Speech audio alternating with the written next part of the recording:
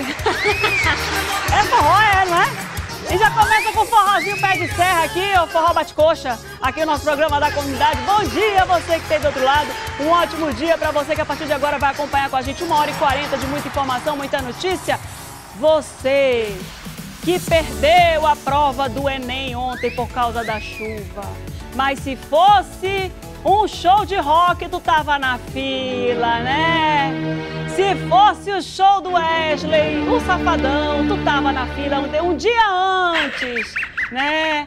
Se fosse a Lady Gaga, tu tava lá na fila dois dias esperando. Mas para fazer a prova do Enem, tu me chega atrasado e perde a prova. Ah! Se fosse o quê, rapaz? Se fosse o pagode na Aparecida, né? Ó, teve gente com um mês de fila. O show do Justin Bieber. Um mês na fila, acampado. Mas a prova do Enem. Aí tentou pegar Uber. Uber teve que fazer retorno, né? Pelo amor Perdeu a, perdeu a prova, né? Ah, é pra acabar. Olha, um beijo e um abraço para todo mundo que conseguiu chegar e conseguiu fazer a prova. Pra quem perdeu, só ano que vem agora. Tem esse ano ainda não, né? Não, né? Carlinhos tá dizendo, só ano que vem, meu bem. Como diz aqui a Nilza, aqui no meu ouvido, olha. Ano que vem, meu bem, tem mais, tá? Só em 2018. Vamos lá que eu vou oferecer bolo nessa segunda-feira doce, que agora eu fiquei doce, que eu tenho que fazer assim, né, o programa, né? A gente começa o programa logo doce e hoje nós temos o super bolo pudim de prestígio lá do bolo da vovó Tereza. Tá aqui o bolo da vovó Tereza, agora no novo endereço lá no Dom Pedro. Você que adora um bolo no fim de tarde, hum, tem coisa melhor? Ou um bolinho no café da manhã, bolo da vovó Tereza é a solução. Tem bolo da vovó Tereza no Parque 10, no Parque das Laranjeiras e agora também tem bolo da vovó Tereza lá no Dom Pedro. Muito fácil, você liga aí para esses telefones, escolhe o bolo da sua preferência, faz a encomenda e vai lá buscar, porque o bolo da vovó Tereza não faz entrega. O que é ótimo, porque você tem a certeza que vai pegar o bolo, que você vai comer o bolo inteirinho e não vai ser entregue o bolo aí quebradinho, né? Que é por isso, né, que não faz entrega. Um grande beijo para o Salustiano e para a Verônica. Beijo para todos vocês que sempre trazem aqui um bolo. Toda segunda-feira alegra nosso, nosso dia com essa doçura toda do bolo da vovó Tereza. Agora, gente, olha só. 3307-3950 o telefone para contato para você levar esse bolo para casa. Não diga alô, diga bolo da vovó Tereza, a primeira casa de bolo caseiro em Manaus. O quê? Repita! Bolo da Vovó Tereza, a primeira casa de bolo caseiro em Manaus. Essa é a dica para você. Fica a dica, fica o detalhe. Vem comigo aqui, Carlinhos. Vem cá, Carlinhos, 10 horas e 54 minutos. Nós temos ganhadores da promoção. A primeira ganhadora é a Alexandra Almeida, do Grande Vitória. Vem pra cá, Alexandra. Tudo bem? Chega, chega chegando, né? Tu foi fazer a prova do Enem ontem? Não. Não? Mas tu perdeu a prova, não? Não. Tu não tava mesmo inscrito. Fala no microfone, que senão ninguém vai te ouvir em casa. Tá.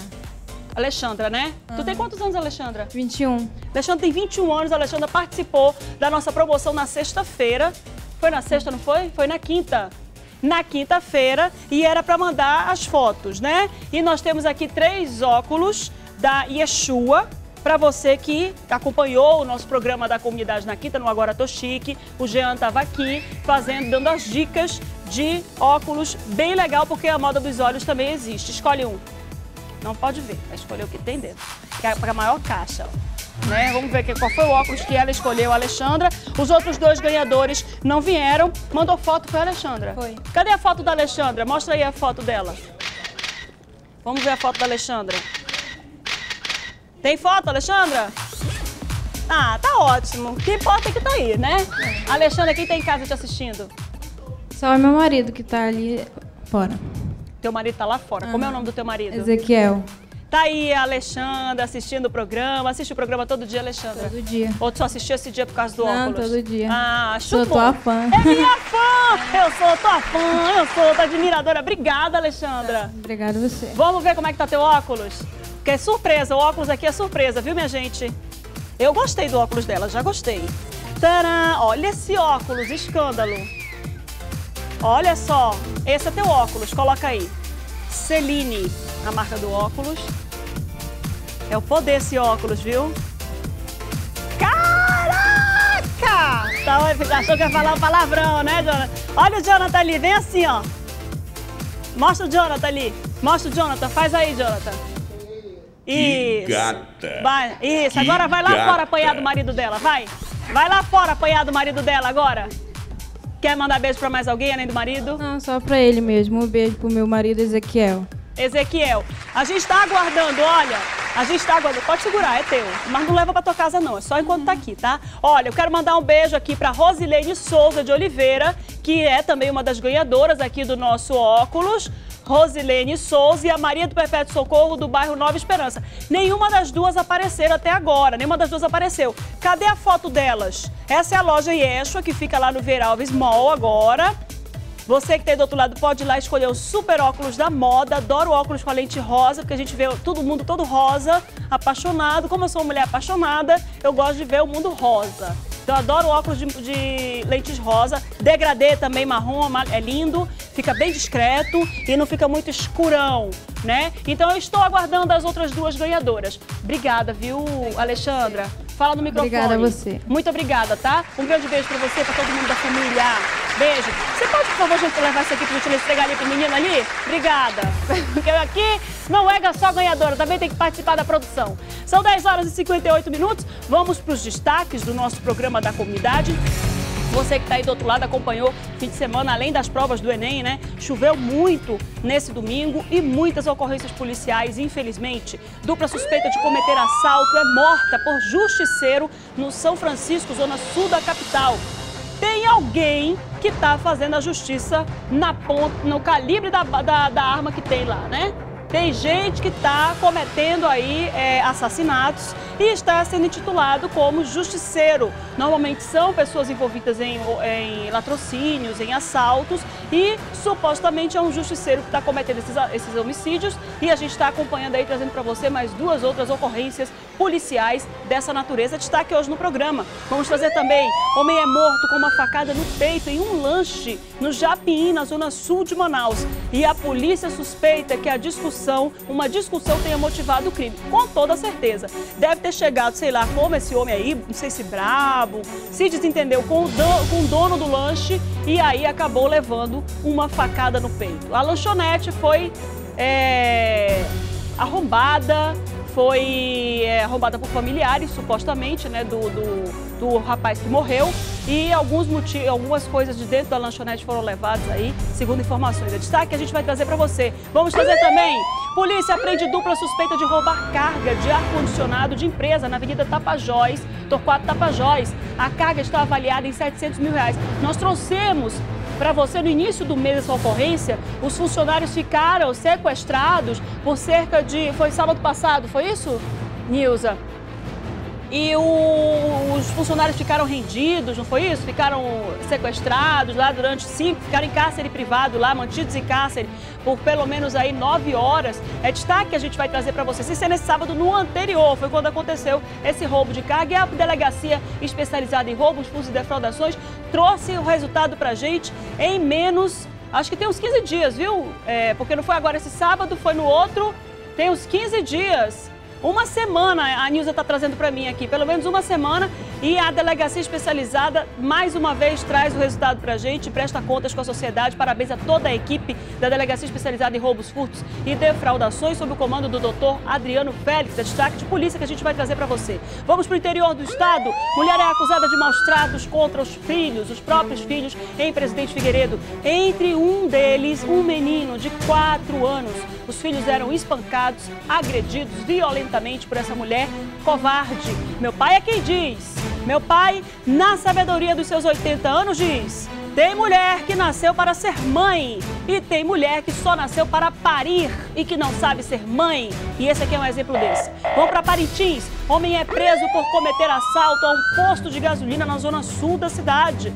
Mais uma pessoa que comete aí assaltos pela cidade é presa e a gente vai trazer para você os destaques. A gente também vai trazer hoje no nosso programa da comunidade esse programa que começou com a doçura do bolo da vovó Tereza, não é só de espinho. Não é feito só de espinhos, no nosso caminho também tem flores, no nosso caminho também tem música. Hoje a gente vai trazer a grande finalista do último sábado do Art Music, a Yasmin, que fez bonito. A Yasmin Rodrigues fez bonito.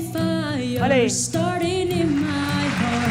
Reaching the fever pitch and it's bringing me at the dark.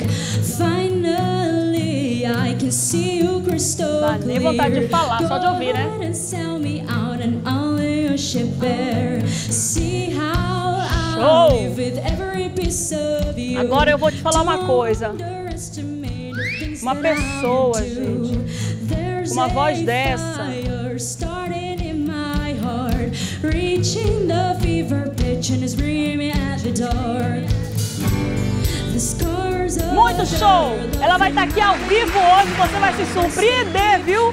Com essa super mulher. Você vai surpreender, um vozeirão desse. Tudo isso você acompanha agora no nosso programa da comunidade, que já começou.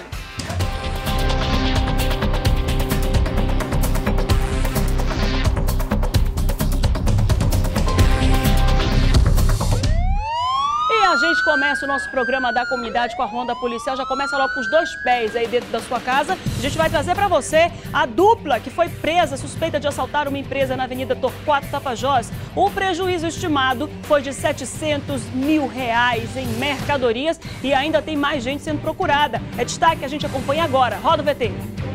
Os suspeitos foram identificados como Luciano da Silva Formiga e Ednelson Ferreira Tassos.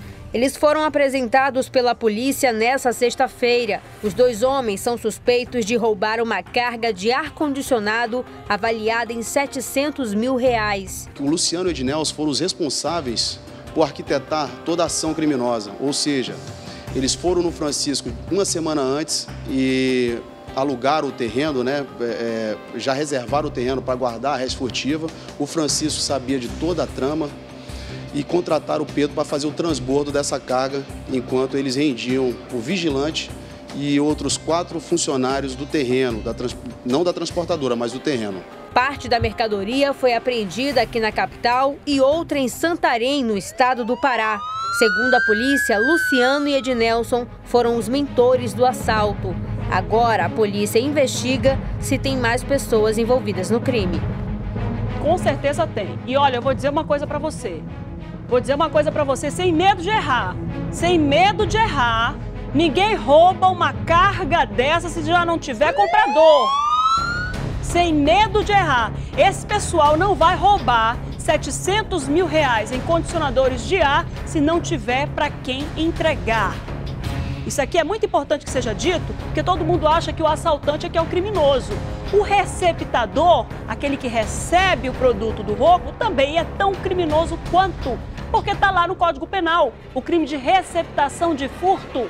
Então você que acha que está fazendo um bom negócio, comprando uma mercadoria sem nota fiscal, sem saber a origem daquela mercadoria, de uma pessoa que você está olhando para ela e está vendo que ela, essa pessoa não é um empresário, não é uma empresária, não é uma pessoa de negócios, é uma pessoa que causa em você uma determinada suspeita. Sabe qual é o nosso conselho? Que conselho não é, se conselho fosse bom ninguém dava, vendia, mas a gente vai dar assim mesmo, mesmo sem querer? Não compre, não se meta nessa fria, não se meta nessa enrascada, porque é uma roubada, literalmente. Vejam vocês que estão aí do outro lado acompanhando o nosso programa da comunidade. Um monte de condicionador de ar desse daí. O que, que eles iam fazer? Iam deixar num terreno guardado? Iam ficar vendendo de casa em casa, de porta em porta, para poder aferir o lucro? Para ter a vantagem dessa, desse roubo, dessa carga? Não, podem ter certeza que não. E eu não tenho dúvida nenhuma, nenhuma de que o doutor Adriano Félix já deve estar aí investigando essa linha e saber exatamente para onde ia essa carga. Porque a- a- a- o trabalho da delegacia não parou na prisão desses dois, não. A delegacia vai saber, primeiro, se tem outros envolvidos e, segundo, quem ia receber essa carga. Essa ordem vinha de alguém. Essa ordem para fazer esse roubo aí vinha de alguém. Porque esses dois que estão aí, mostra para mim de novo aqui, por favor, Cristiano Loureiro e Gesiel. Esses dois que você está vendo aí, esses dois não têm tutano para ter uma ideia dessa sozinhos. Esses dois aí. Olha aí, o outro nervoso fica só batendo na mão assim, ó. Olha aí, ó. Né? Natal até Natal, ó. Fica só batendo nervoso. Agora tá, olha aí, olha aí, ó. Fica só. Vamos fazer um bumerangue? Fazer um bumerangue com ele? Né? O nervosismo agora é assim, ó. Vamos fazer um bumerangue? Não tem pra onde correr. Eles com certeza absoluta sabem de onde, para onde essa carga ia e com certeza que foi uma encomenda. Essa história não acaba, não tá mal, essa história não está terminada não. Essa história não vai ter outro final. 11 horas e 6 minutos, vocês que estão aí do outro lado, sabe quem foi que se deu mal também? Infelizmente, a gente vai trazer mais um outro caso de, de assalto, dessa vez numa churrascaria. A gente vai trazer para você aí o assalto numa churrascaria também na Torquato Tapajós, no bairro de Flores, zona centro-sul. O crime, o crime aconteceu na tarde de sábado. A ação dos bandidos foi registrada pelas câmeras de vigilância da churrascaria. Você está acompanhando aí agora o momento. Sabe o que, que eles fizeram, os espertinhos? Olha aí, estão na fila para pagar, ó. Esse de camisa listrada, ó. Aí ele levanta e dá a voz de assalto, ó. Faz o assalto, ó. Levanta e mostra tudo. Agora, sabe o que é impressionante? Eles comeram. Eles chegaram até a, o restaurante, almoçaram e comeram. Dá para acreditar? Aí eles foram até o caixa para pagar a comanda e anunciaram o assalto e acabaram roubando funcionários e clientes. E olha, gente, olha só a arma. E olha o momento em que os dois fogem. Olha aí, ó, os dois fugiram, quase que fica o outro com picha. Olha aí, de cara limpa. De cara limpa. Acha uma imagem aí, por favor, Cristiano Loureiro. Segura a imagem, olha aí, nervoso, suando. Olha aí, olha aí, segura. Segura a imagem. Mostra lá de novo e segura a imagem. Olha aí, ó, olha aí. Dá para acreditar? E olha, vou dizer uma coisa, são dois crimes que ele cometeu, viu? Estelionato, porque ele fez de conta que ele ia pagar a conta e não pagou, e ainda o crime de roubo. Não sei se vai ser absorvido, né? Porque o, o, direito penal ele é tão cheio de coisa que a gente não sabe aí se vai ser absorvido os dois crimes. Mas você tá vendo aí, ó.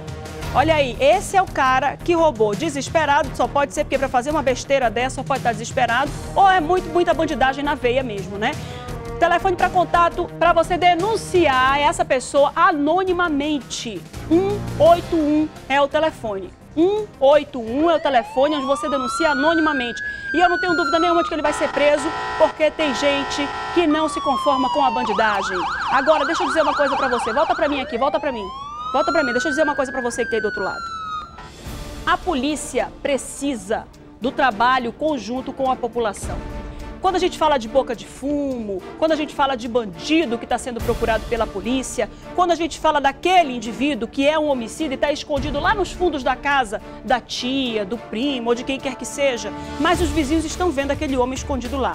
Deixa eu dizer uma coisa para você. Você que é um homem de bem, você que é um cidadão de bem, você que trabalha direitinho e quer ver a nossa cidade limpa desse bando de criminoso, não fale nada para ninguém, nem para vizinho, nem para nada. Não diz que você vai denunciar. Fica calado. Engole a informação e solta tudo no 181. Sabe por quê? Porque às vezes a gente, no afã, na, na, naquela indignação de ver o crime acontecendo aqui no, no, na esquina, do lado da casa da gente, acaba propagando isso, dizendo: eu vou te denunciar, eu vou denunciar boca de fumo, eu vou não sei o quê. Traficante não tem medo de cidadão. Usuário não tem medo de cidadão, porque o usuário ele tá louco por causa da droga. O latrocida não tem medo do cidadão, ele vai para cima do cidadão. E outra, esse pessoal não tem nada a perder, a vida dele já está perdida. E você que é um pai de família, que tem a sua família, não tem por que colocar a sua vida em risco por causa de um cidadão que está com a vida dele acabada. Então você denuncia no 181, cala, não conte nem para sua família, porque às vezes você conta para uma, uma prima, conta para uma irmã, conta para a filha, a filha vai dar com a língua nos dentes e coloca a família em risco. Então não conte nada, faça tudo caladinho que é para poder, ou caladinha, que é para poder a polícia trabalhar sossegada e você seguir com a sua vida feliz. São 11 horas e 10 minutos, a gente vai para o intervalo, não é isso, Nilza? Vamos para o intervalo rapidamente, daqui a pouquinho a gente está de volta e a gente vai trazer no próximo bloco. Um homem foi assassinado com mais de 10 facadas no bairro de Petrópolis, zona sul da cidade. Vamos trazer já já, não sai daí não.